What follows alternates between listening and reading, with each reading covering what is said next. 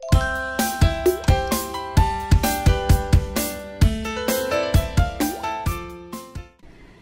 morning people. Happy Monday. Good morning, good morning, good morning guys. Ang lamig ngayon. Lamig dito sa basement. So, today is Monday. Wala akong pasok. And, tunog na tunog yung cellphone ni ate. So, start na rin ng um, balik ng school dito after ng one week winter break nila. So, si ate tsaka si Ravi, ay si ate tsaka si Ravi, si Ravi at tsaka si Ivar pumasok na ng school.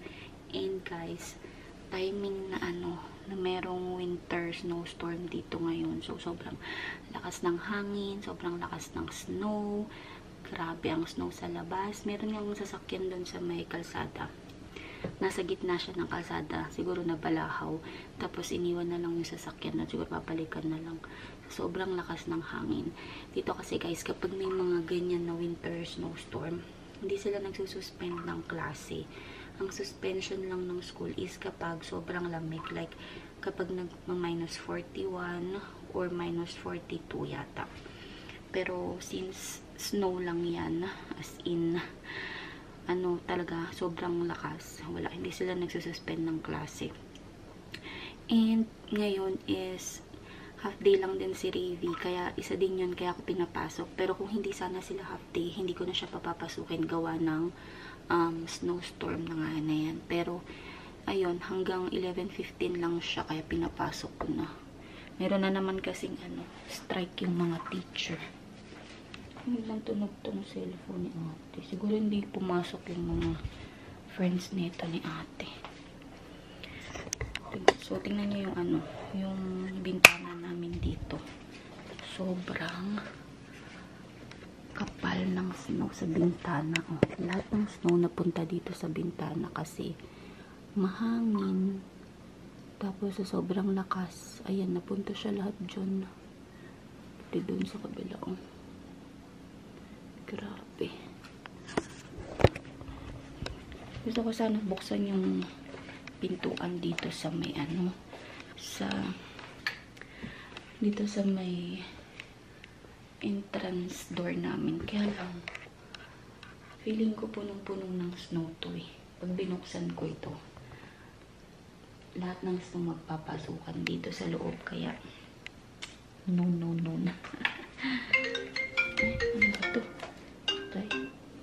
tumatawag pa yung mga friends ni ate. Hindi nga siguro pumasok to. Iyan natin. Silent at maingay. Si Raven tulog pa eh. Ayun, nandun pa siya sa kwarto. Kaya medyo mahina lang yung boses ko para hindi siya magising. Kasi 8.26 pa lang dito. Ayan, first day ni Ivar sa, ano, sa school bus. Kaya, maaga din sila umalis. And then, yun nga, dahil malakas yung hangin at snow. Nandito na si Ivar, guys. Andun lang siya sa taas saglit. Makit sa main floor. Nakapagluto na rin ako ng, ano, ng tinola. Tinolang manok. Tapos, meron pa kami leftover na sinigang na belly. Nakagawa na rin ako ng ano, inumin ni Raven. Nabanggit ko nga sa inyo, di ba? Ginagawan ko siya ng inumin na may halong Restoralax.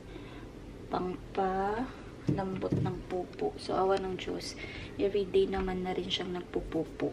Tapos, minsan, dalawang beses pa nga. eh. So, laking tulong din talaga nung Restoralax kapag pinapainom ko siya.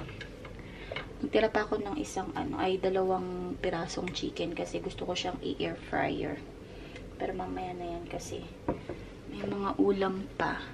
Tapos nilabas ko na rin yung ham para uh, papalaman ko sa tinapay na iwan mamaya. Tapos na kami kumain ni Ivar, guys. It's, ano na, 10.45 na.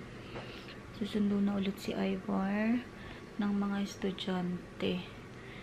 So, umaga siya umalis kasi nga lakas pa rin ng snow tsaka ng hangin. Tingnan nyo. Ito ko sa inyo yung labas. Zoom natin para makita nyo. Ayan o.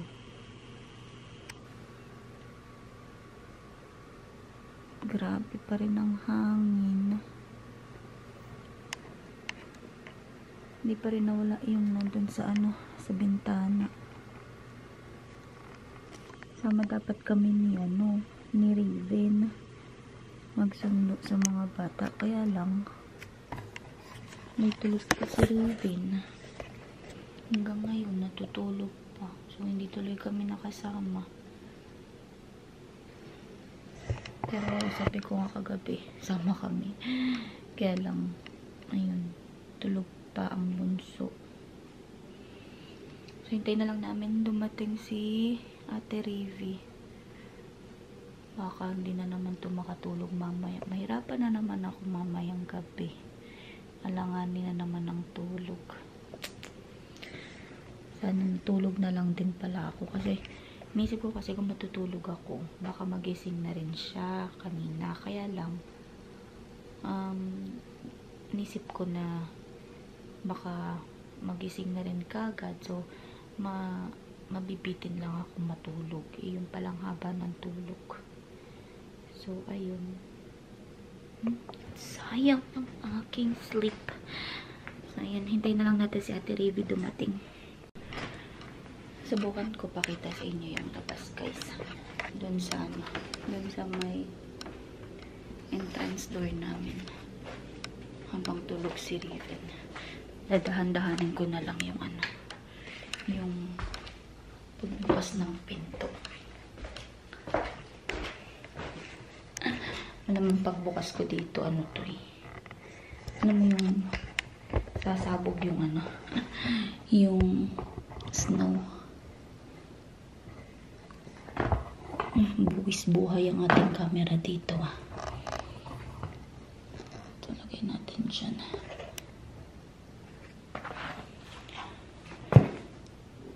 Ano natin.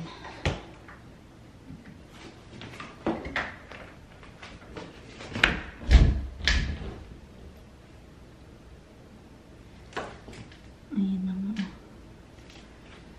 Ito niya.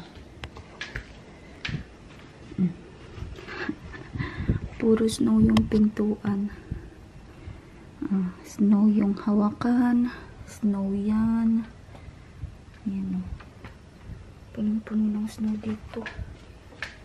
Ayun, grabe. Taas.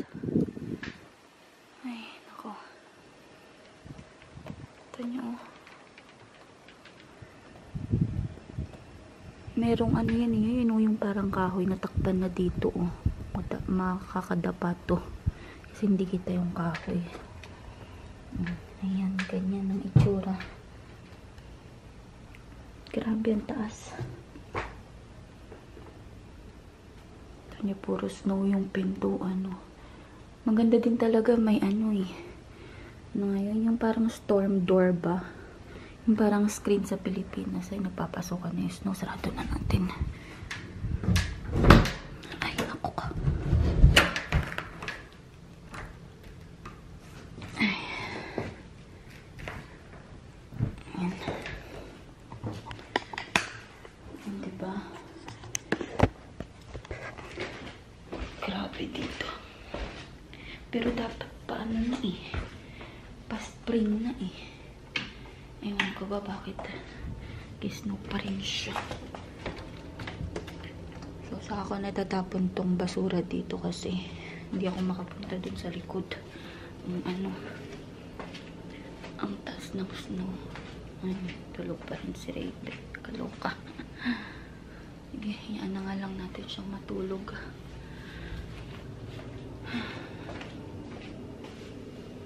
Meron pa akong hugasin dun eh.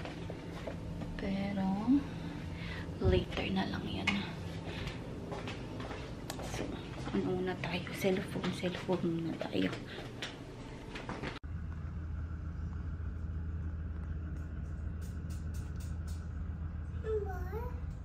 Bus?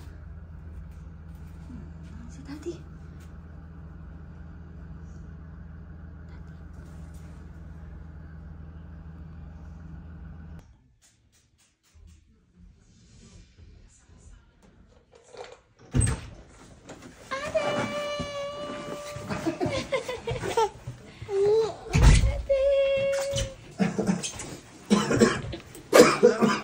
7.10 na ng gabi guys. Si Raven no, tulog na tulog. Sarap ng tulog niya kasi nakadoble siya ng kumot. Tapos siniksikan ko na itong makapal na blanket. Very warm ang feeling niya kaya. Ayan, nakaisang oras na siya.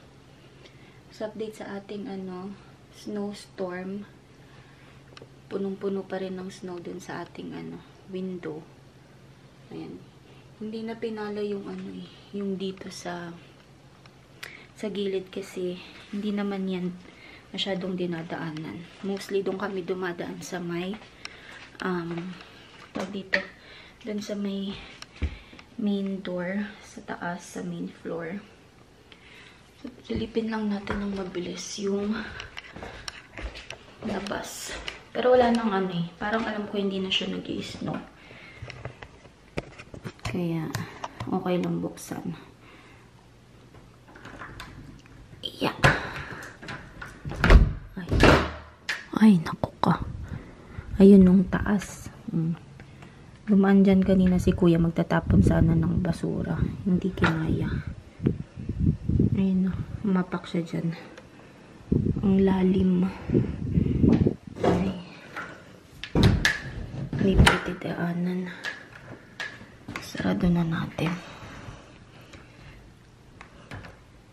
So, siguro makakadaan kami dito. Pag ano pa. Mabit ako. Pag um, summer or talagang pag wala ng snow. Naligo na kami ni ate Ravi. Nagbalot lang ako ng blanket kasi lamig. Ay, naka. Kumain na rin ako ng dinner. Tapos, ay, nanginintay ko na lang magising to si ano, si Raven. Nanood ako ng ano eh, it's showtime. Kaya lang, naglolo ko yung internet ang bagal. Kaya, hindi ko matapos-tapos. So, ayan, si Ivor, pumasok na sa full-time job niya. So, bukas, umaga, ano na naman, school bus driver naman siya sa umaga, guys. Ganon ka-hectic ang kanyang schedule. So, good luck sa kanya kapag um, matutulog na ulit kasi sobrang kulang yung kanyang tulog dahil syempre may alaga. Tapos, in between, kailangan niyang um, maghatid at magsundo ng mga estudyante. So, we'll see kung hanggang saan niya kakayanin ang um, pagpa-part-time ng school bus. So, anyway, continue ko muna yung ano, yung pinapanood ko sa tag dito, sa I Want TFC kasi nag-stop nga lang ako dahil sa internet. So, yun. Hintayin ko din magising to si ano, si Raven. Sing na si Raven. Miinom siya ng coke dun sa ano, sa toy. Pero inugasan ko naman to guys. Kaya malinis yan. More? Coke? More coke? Coke. Mo more pa siya. Hindi kami makanood ng ano, ng YouTube. Tsaka ng TFC kasi walang internet. Hindi ko alam kung bakit. Hindi ko alam kung dahil ba sa lakas pa rin ng hangin at nawalan ng signal o sadyang mabagal lang talaga tong internet na to may problema. Wala na yan, baby. Ubus na. Bigyan ko lang ng coke si Raven. Kumain naman to ng ano, Ritz. Kaya, okay lang. Sunog ano lang ako. Blanket lang ako sa lamig. Boy, Nung more, meron na nga dito eh, oo. I see. Oh, dali, doon ka na sa ano mo. Sa table mo. You have to be careful, ha? Mm. Ayan o, grabe. Kanina pa yan ganyan, loading lang ng loading. Kaya ito tuloy eh, hindi ano, hindi makanood.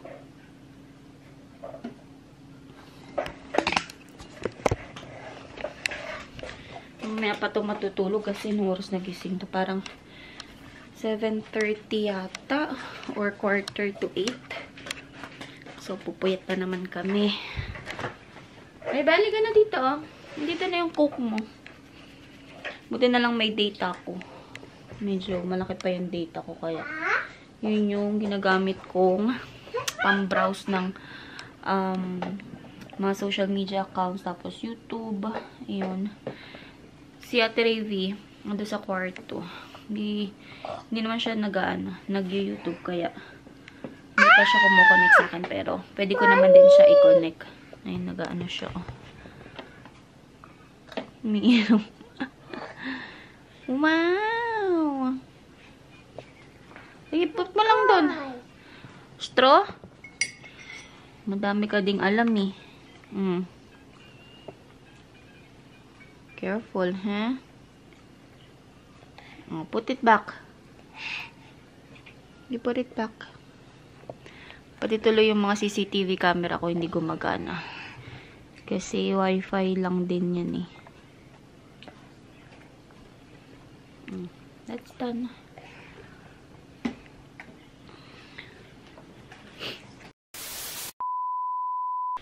So, dito na kami ngayon sa room. Dede na si Raven kasi nag um, patimpla na siya ng milk. Si ate, nagmi-milk na rin. Pero hindi pa ito matutulog panigurado kasi nga late na nagising. So, dedede lang siya tapos nunod ng iPad. So, ako tatry kong umidlip-idlip dito para kahit pa paano um, makatulog ako just in case mag-aya siya dun sa sala para maglaro siya. Tapos, hindi naman ako ganun ka puyat bukas. Pero, bukas naman is 12 to 5 ako. So, hindi ako ganun kaaga. Yun nga lang, kailangan ko gumising ng maaga kasi ipiprepare ko yung baon ni ate sa school tsaka si ate Revi. So, tomorrow is full day na rin yung pasok. Ano na sila? From 9 o'clock to 3.30. So, kailangan ko mag-prepare ng lunch niya. So, anyway, patayin ko na yung ilaw kasi pag hindi ko pa pinatay yung ilaw, magpapaano pa to, magpapalabas pa siya dun.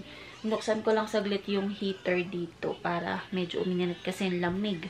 Naka-zero kasi kanina yung ano, yung heater. So, binuksan ko ng 20 degrees pero papatayin ko na lang. Ko na lang din para hindi kami masyadong mainitan. Kasi mainit na ngayon. Kabubukas ko lang siguro mga 5 or 10 minutes mainit na kagad. Kasi malit lang naman yung room dito. So, magkukumot na lang kami. Ito-turn off ko na siya. So, i-end ko na rin yung aking video. So, hopefully bukas umukay-okay na yung weather at hindi na talaga mag-snow at hindi na rin sa no windy. Kasi, grabe yung ano, kalsada. So anyway, thank you so much for watching guys and please don't forget to like, share, and subscribe to my channel and I will see all on my next one. Bye! Good night! Mm.